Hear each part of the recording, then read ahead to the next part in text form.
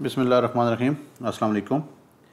Uh, I was struggling with one challenge uh, with uh, my image files which were working before but uh, now since I'm uh, trying to open them I'm having this issue.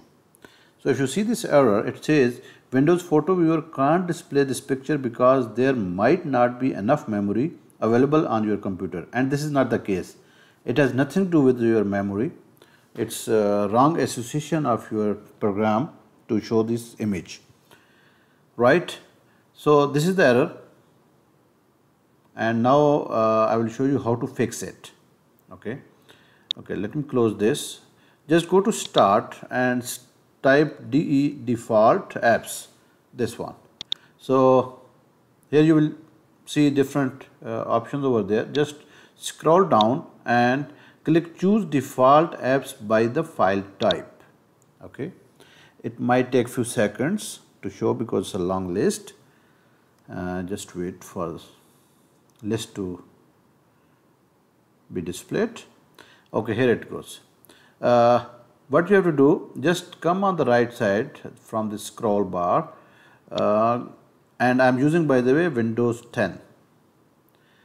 Go down, go down, you have to go to JPEG. I am, it is bit difficult to find but you can say JPG and JPEG. If you see here JPEG in front of JPEG what is there?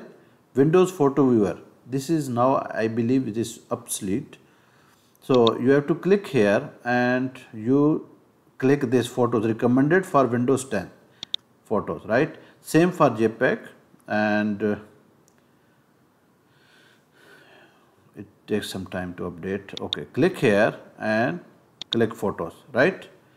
That's it. Here there is no save button or anything. You will just close this window. Just wait for a few seconds.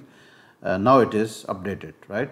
And now you close it or minimize it. Now we will try to open the same image file and we'll see. Now it displayed our image right?